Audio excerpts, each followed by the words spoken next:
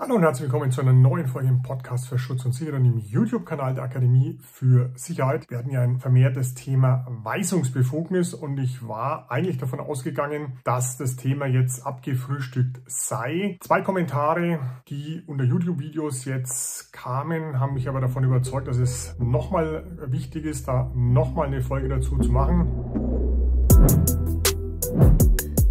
eine Kommentar lautete, die Weisungsbefugnis wäre durch das Direktionsrecht geregelt, aber wie wäre es denn, wenn 95 Prozent der Anweisungen vom Kunden kommen? Und bei dem anderen ging es darum, dass ich einen Kommentar zum Thema Weisungsbefugnis beantwortet hatte und gesagt habe, der Kunde hat keine Weisungsbefugnis und die Weisungsbefugnis liegt ausschließlich beim Sicherheitsunternehmen, beim Vorgesetzten des Sicherheitsmitarbeiters. Und dann kam als Antwort, ja, er hätte sich falsch ausgedrückt. Es ging ja um die Weisungsbefugnis im Objekt. So, und genau darum geht's. Die Weisungsbefugnis im Objekt, nämlich wer ist jetzt weisungsbefugt, wenn ich als Sicherheitsmitarbeiter beim Kunden in einem Objekt tätig bin. So, und die Antwort ist ganz klar. Und jetzt hier noch einmal für alle zum Mitschreiben. Der Kunde hat im Normalfall keine Weisungsbefugnis. So, Punkt. Und wenn jetzt hier 95% der Anweisungen vom Kunden kommen, dann läuft hier irgendwas völlig falsch. Ja, der Hintergrund ist nämlich der, dass in dem Moment, wo Anweisungen vom Kunden kommen, das Ganze eine Arbeitnehmerüberlassung ist, weil dann der Kunde weisungsbefugt wäre. Es ist aber keine Bewachungstätigkeit, sondern Arbeitnehmerüberlassung. Der Sicherheitsmitarbeiter wäre in diesem Fall dann Leih- oder Zeitarbeiter. Das ist aber im Normalfall weder gewünscht, noch haben die Beteiligten im Normalfall die Erlaubnis nach AÜG, also Arbeitnehmerüberlassungsgesetz, das Ganze zu tun. Also noch einmal, der Kunde hat im Normalfall keine Weisungsbefugnis. Weisungen bekommt der Sicherheitsmitarbeiter ausschließlich von seinem Vorgesetzten, seiner eigenen Wachfirma. Gut, ich denke, das sollte jetzt soweit klar sein.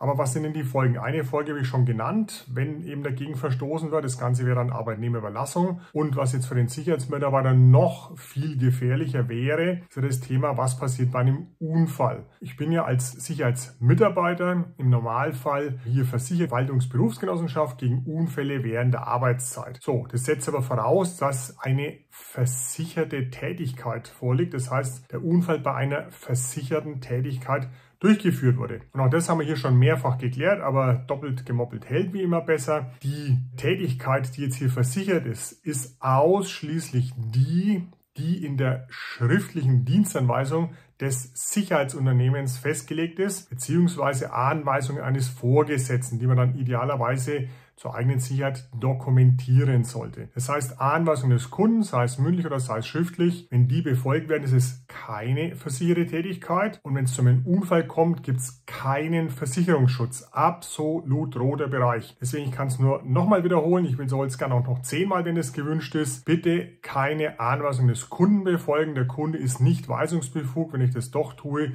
bin ich im roten Bereich, sei es Arbeitnehmerüberlassung oder eben, dass hier der Versicherungsschutz wegfällt. Jetzt denken wir bei Kunde immer an ein Objekt, also zum Beispiel ein Industrieunternehmen, das jetzt hier bewacht wird, aber Kunde kann auch noch jemand anderes sein. Es ist ja in vielen Fällen, zum Beispiel bei Veranstaltungen ist es gang und gäbe, dass es einen Hauptunternehmer gibt und der Hauptunternehmer jetzt sogenannte Subunternehmer einsetzt. Also die Firma A bekommt den Auftrag und gibt den jetzt weiter an die Firma B, die Firma B an die Firma C, die Firma C an die Firma D und so weiter. So, Subunternehmer. Und auch hier gilt genau dasselbe Spielchen. Wenn du jetzt Mitarbeiter, Sicherheitsmitarbeiter der Firma B bist, dann bekommst du ausschließlich Anweisungen von einem Vorgesetzten der Firma B. Mitarbeiter der Firma A, also der Hauptunternehmer, haben keine Weisungsbefugnis. Die Konsequenzen wären genau dieselben. Wenn jetzt der Sicherheitsmitarbeiter der Firma B das tut, was einer von der Firma A sagt,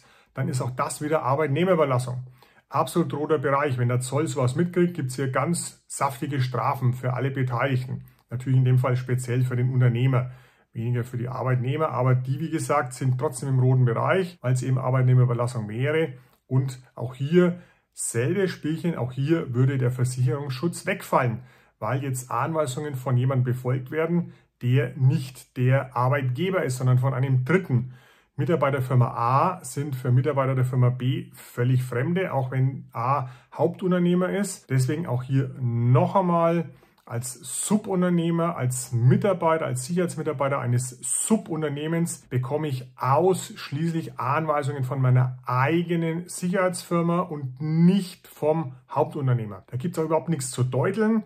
Es gibt natürlich wie immer im Leben Ausnahmen, Stichwort Notfall, wenn es jetzt um einen Notfall geht. Es brennt oder es kommt zu einer Panik, irgendwas in der Richtung. Völlig andere Baustelle, dann darf der Kunde, auch der Hauptunternehmer, wie auch immer, darf oder dürfte in diesem Fall Anweisungen geben. Im Normalfall nein. So, ich hoffe, das Ganze ist jetzt wirklich mal klar geworden. Auch hier, wenn du dazu Fragen hast, schreib es gerne in die Kommentare. Wenn dir das Video gefallen hat, gern liken, gern den Kanal abonnieren und auch die Glocke betätigen, dass du jedes Mal, wenn es ein neues Video gibt, dann informiert wirst. Ansonsten wünsche ich dir alles Gute und bis zum nächsten Mal.